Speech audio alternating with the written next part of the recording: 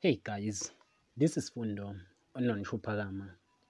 Coming up next on Imbewu this week, Monday, there is a tension at the Bhengu breakfast table. Nkululeko put the blames of Mazulu for Shongololo win.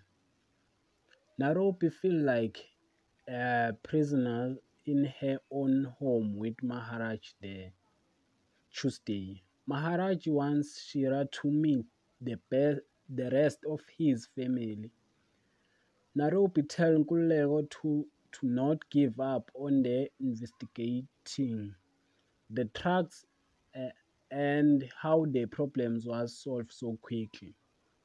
Wednesday, Kulego learns Shira might have blood te tears to Maharaj and together with Mazulu resolves to keep a closer eyes on both.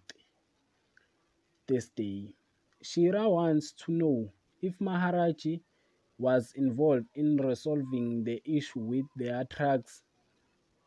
When Makosazana discover that Maluju serve was hijacked, Nkululeko take it a proof that Shira is working with Maharaji to set them up. Friday.